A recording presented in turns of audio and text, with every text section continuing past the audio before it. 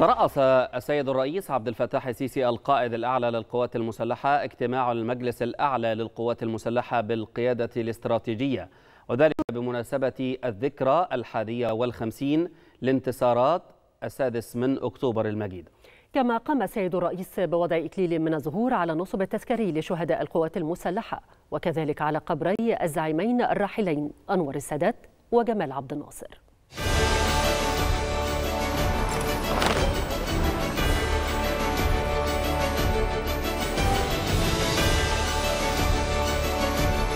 في إطار احتفالات مصر والقوات المسلحة بالذكرى الحادية والخمسين لانتصارات أكتوبر المجيدة لعام 2024 قام السيد الرئيس عبد الفتاح السيسي رئيس الجمهورية القائد الأعلى للقوات المسلحة.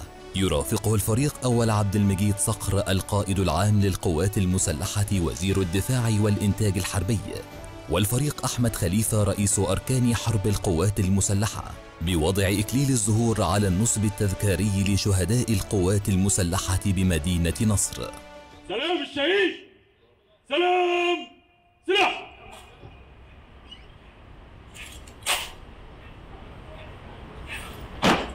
وعزفت الموسيقات العسكرية سلام الشهيد في تقليد عسكري أصيل وفاء لشهداء مصر الأبرار.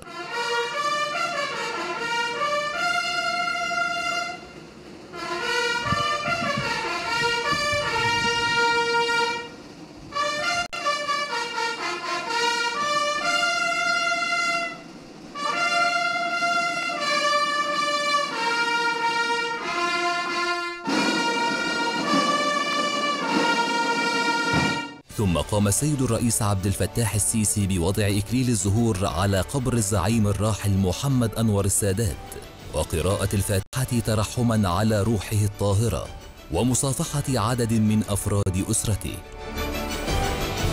كما صافح عددا من قدامى قادة حرب أكتوبر.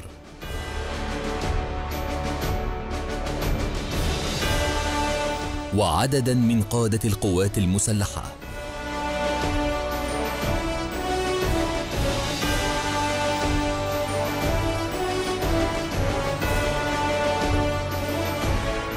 وعددا من كبار رجال الدولة.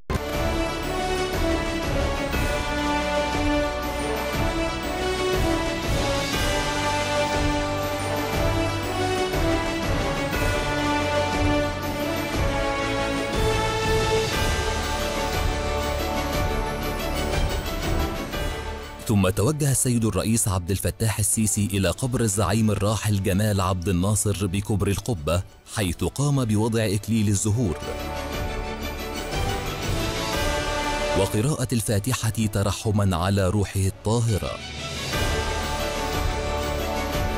كما ترأس السيد الرئيس عبد الفتاح السيسي رئيس الجمهورية القائد الأعلى للقوات المسلحة اجتماع المجلس الأعلى للقوات المسلحة بالقيادة الاستراتيجية. حيث هنأ الشعب المصري وأبناءه من رجال القوات المسلحة بمناسبة الاحتفال بذكرى انتصارات أكتوبر.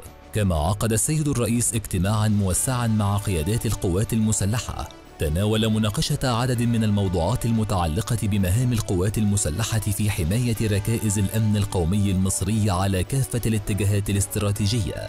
كما تطرق إلى الأحداث الراهنة التي تمر بها المنطقة في الآونة الأخيرة. وفي نهاية الاجتماع وجه السيد الرئيس التحية لرجال القوات المسلحة لما يقدمونه من جهود وتضحيات لتظل راية الوطن عالية خفاقة ينعم شعبه بالأمن والاستقرار في كافة ربوع الوطن.